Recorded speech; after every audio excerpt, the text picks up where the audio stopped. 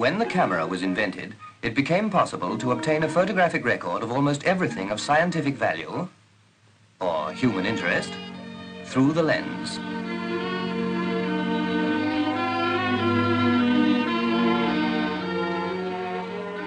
To most of us, a lens is a thing of glass with mysterious properties that somehow makes it possible for us to record our progress through the years, our weddings and sporting events, and the major and minor incidents of the times in which we live. But in truth, the lens is a thing of beauty, an accessory to the human eye, and the making of lenses is a science out of which has grown the optical industry.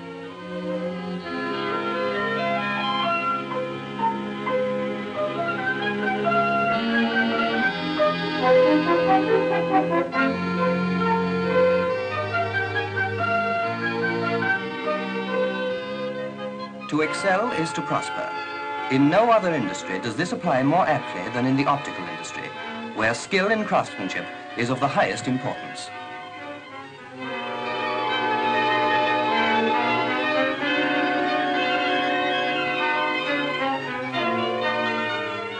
All lenses and prisms have one thing in common. They're made of glass. It's the quality of this glass and its chemical composition that are important. Optical instruments are produced from a welter of figures. It often takes as much as a year to complete the data and mathematical calculations necessary for the making and arranging of a set of lenses in an instrument, to give it the required properties necessary to perform its particular job.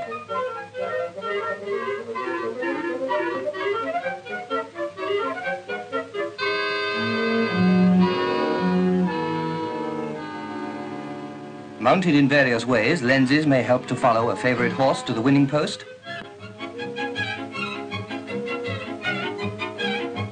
To photograph a pretty girl on the river.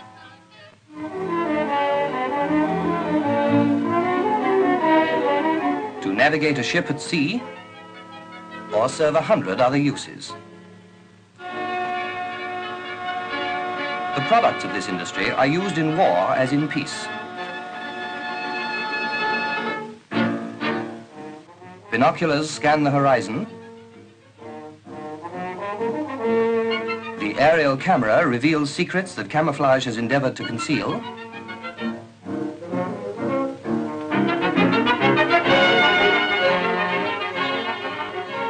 And the rangefinder makes marksmanship an exact science.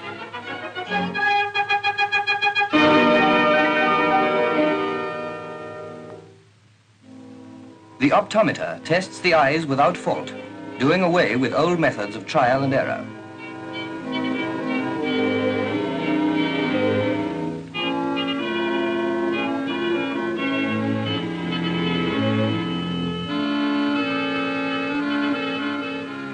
The toolmaker's microscope is just as accurate in finding faults in the manufacture of an aircraft or a family car.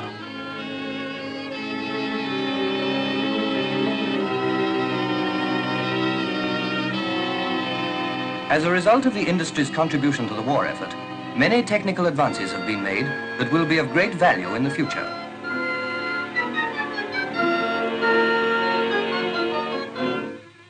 Optical glass is ground and polished to an incredible accuracy. Here, for example, is a lens surface being tested.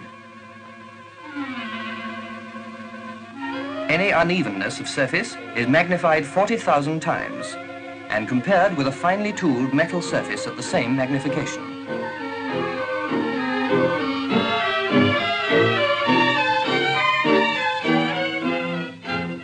The instrument that is used for the test is itself a product of the optical industry.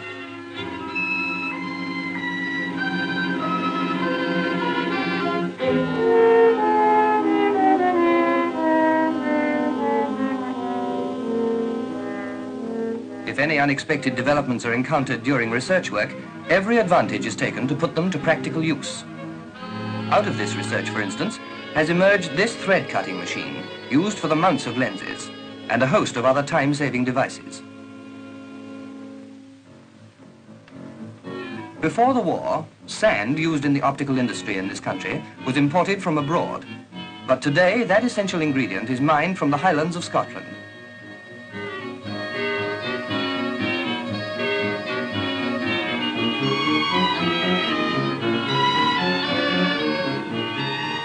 It is then purified and mixed with the other ingredients according to the formula.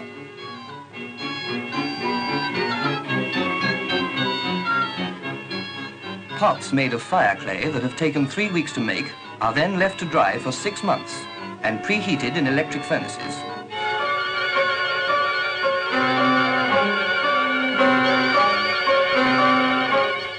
They are hoisted hydraulically into gas furnaces, after which they are filled with the mixture.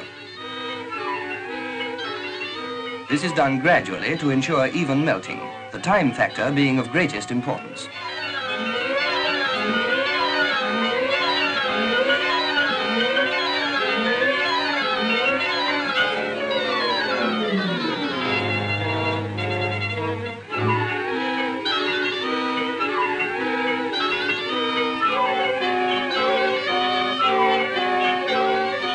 Furnace temperature is taken at regular intervals.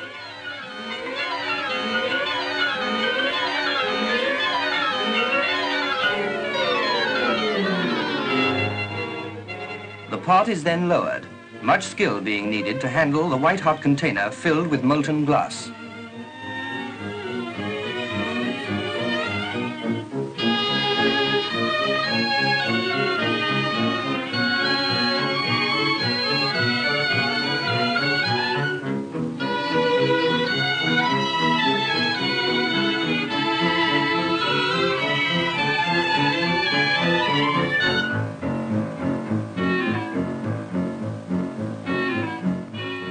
Temperature of the melt is taken again.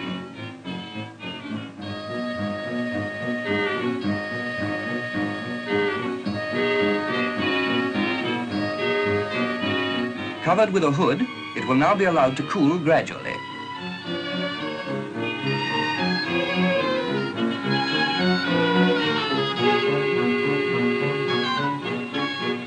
When cold, the part is broken away, disclosing a mass of solid glass. This, in turn, is broken, shattering naturally along its lines of cleavage. From this mass, pieces are selected for size and perfection.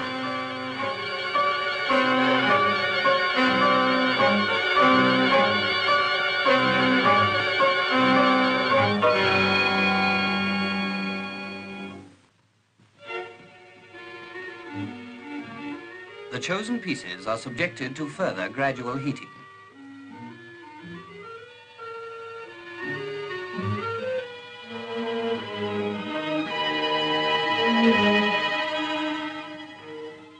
Are finally melted sufficiently to allow for molding into any of the 2,000 or more sizes and shapes now in use in the industry.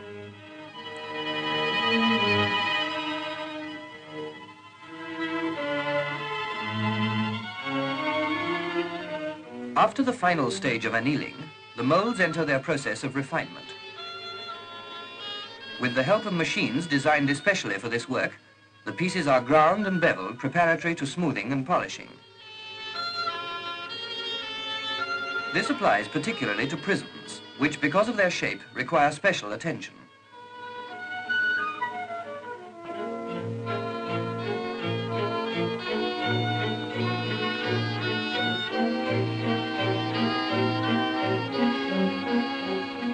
The pieces are then individually set in pitch.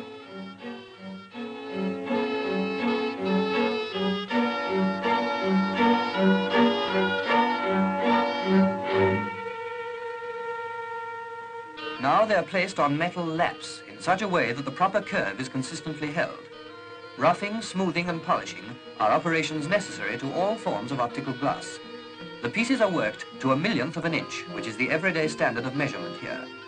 The process is carried on amid a symphony of sound and movement and color as the polishers rotate against the surface of the protesting glass.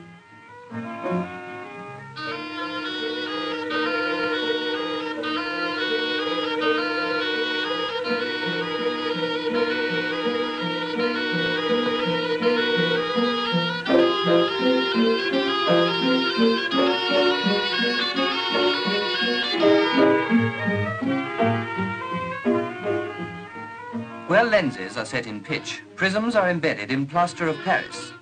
But beyond this, the process is the same.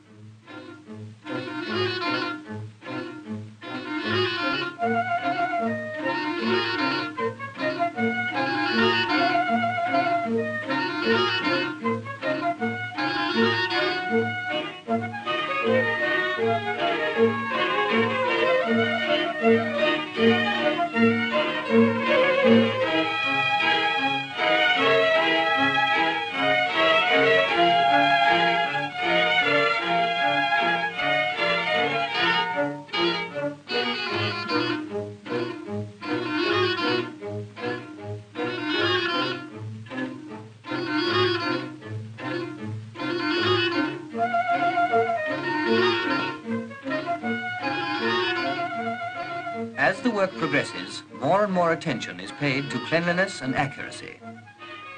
The lens has been centered, and now it is to be edged.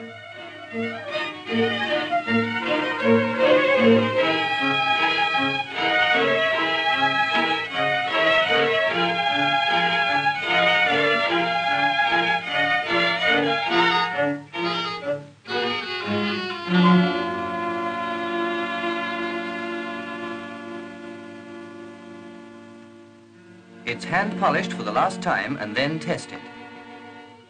This is done visually at first by the reflection of light waves from two surfaces.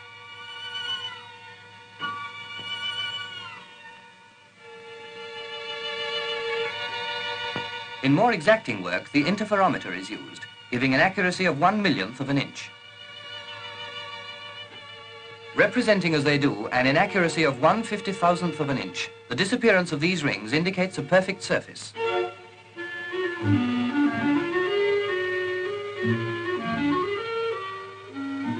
When pronounced satisfactory, the lenses are cemented together to form components for a rangefinder, binocular, or whatever it may be.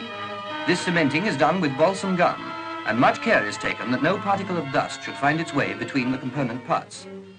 After a period of baking, the components will be mounted, the mounts being the frame on which the glass optics are set at the exact angles and distances from each other that is demanded by the mathematical formula.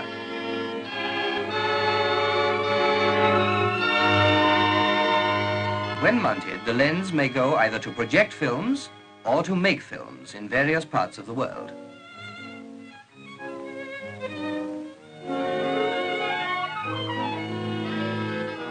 People know that most Hollywood productions are photographed through lenses made in Britain.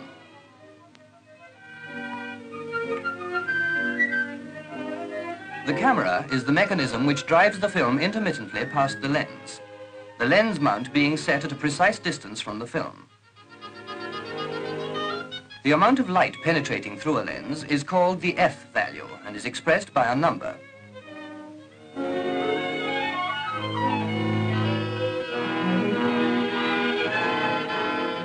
One of the optical industry's newest developments is the coating of lenses with a special preparation to reduce loss of light by reflection from 10% to less than 1.5%. This serves to increase the F value by that amount. This coating process, which we see in operation here, is used, for example, in making night binoculars for our seamen. During the war, a shortage of binoculars was overcome by the nearest approach to mass production yet applied anywhere in the industry. Prisms and lenses were set in frames by machines erected at short notice. In this way, without losing any of its treasured accuracy, the industry was able to accelerate the production of a much-needed instrument.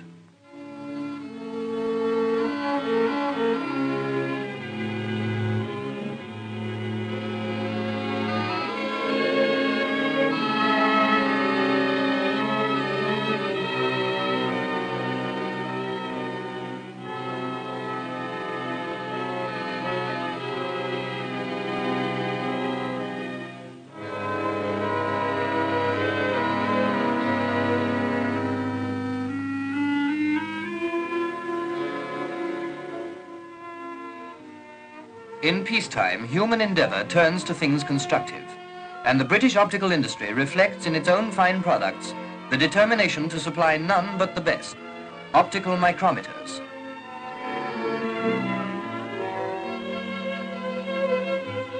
Survey and meteorological instruments. Light testing instruments. Microscopes to aid in research and telescopes to see into worlds unknown to us in the infinity of space.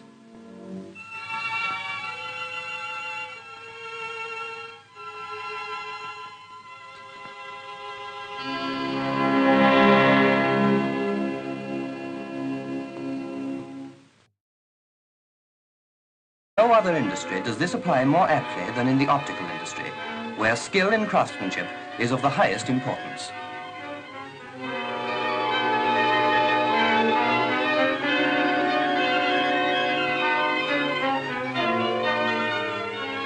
Lenses and prisms have one thing in common. They're made of glass. It's the quality of this glass and its chemical composition that are important.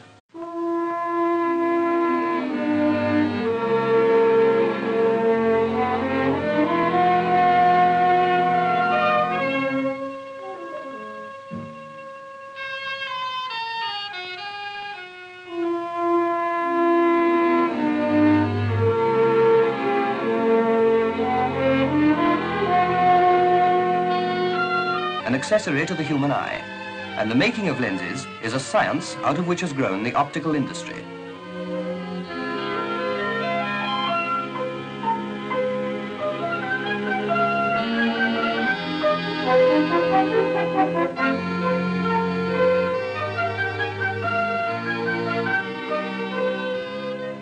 To excel is to prosper.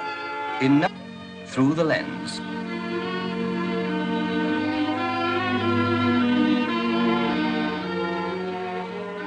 To most of us, a lens is a thing of glass with mysterious properties that somehow makes it possible for us to record our progress through the years, our weddings and sporting events, and the major and minor incidents of the times in which we live.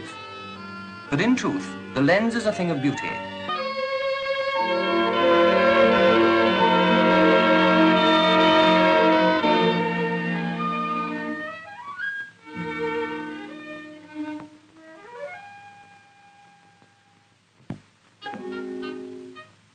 When the camera was invented, it became possible to obtain a photographic record of almost everything of scientific value or human interest